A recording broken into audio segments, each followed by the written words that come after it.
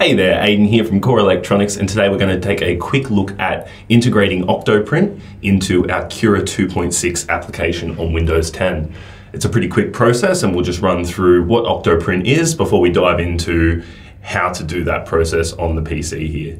So Octoprint's essentially just a printer server, and we run that usually using one of these guys here, which is a small Raspberry Pi board. So we load that operating system called OctoPi onto an SD card, we plug it into our Raspberry Pi, plug our printer right here, plug our printer into the USB ports on the Raspberry Pi, initialize our printer, and we can control it using the network connection, which is either wireless or wired with a Raspberry Pi. However, we always have to log in to our Octoprint server and then upload our G-code or our STL and then slice here, or of course just start the G-code file. What a new feature that we've included or that has been included into Cura is the ability to link with your Octoprint server within Cura and that way you have the ability to connect directly to your printer via your Octoprint server, which is pretty cool.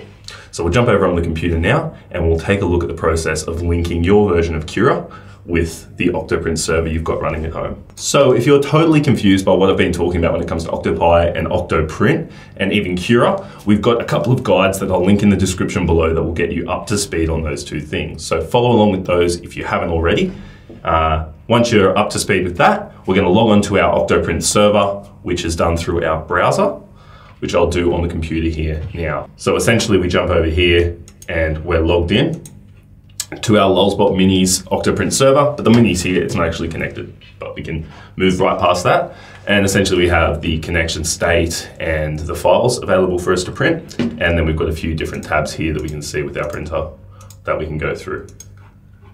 But none of that's important to us right now. We just need to be logged in which is something that you do when you set up your Octoprint server. So I've logged in here and you can see that little username up there.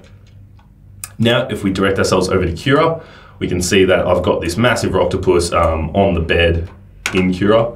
And over here, I've got my Lulzbot Mini selected.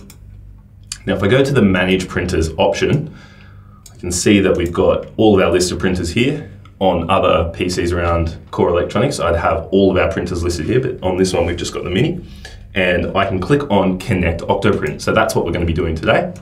Now, as I've got Bonjour print services installed on Windows, I can actually see my host names right here in this list. So this goes ahead and pretty much adds them into this list for me.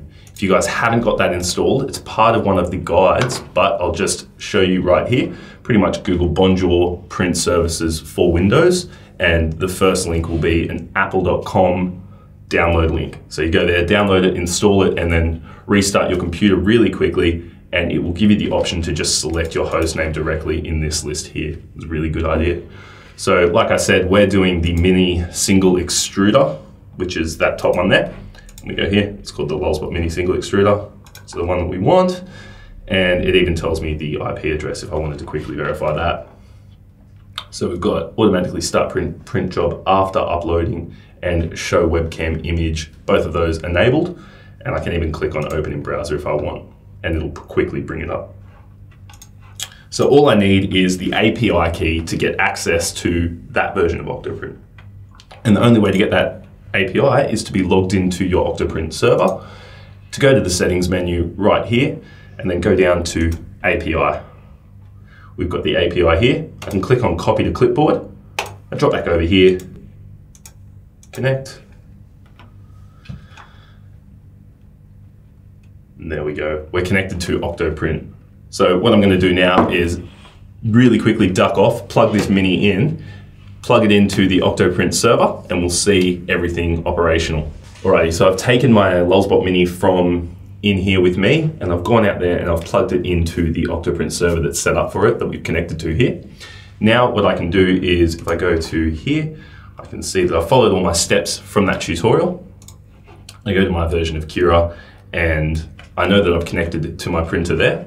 And up in the top right hand corner of the screen here, you can see that there's the print monitor. There's a little tick there. If I click on that, it will show me that I'm connecting to the printer here and it'll actually give me a live representation of the build plate, hot end, blah, blah, blah, blah, blah, which is fantastic. I can even click on open Octoprint and it takes me straight to my Octoprint server, which is great. But if we go back to our model view real quickly go to PolyLite PLA, which is what we had loaded in, and yeah, just make sure everything's fit. Let's just reset it. There we go.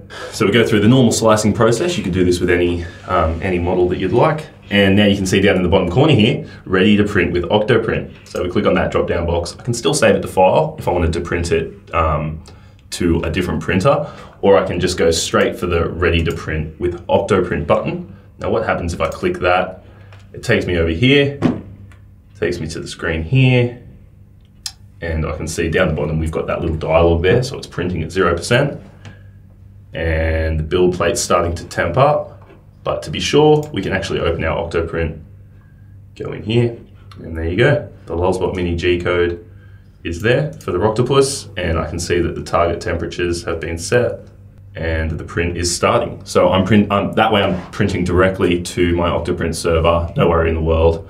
And yeah, that's pretty much the process behind linking up your Octoprint server to Cura 2.6. If you have any questions on the process, feel free to leave a comment below bear in mind that Cura 2.6 is still being developed by the guys over at Aleph Objects, so this process may change in the future, but if it does, we'll stay on top of it and keep you guys notified.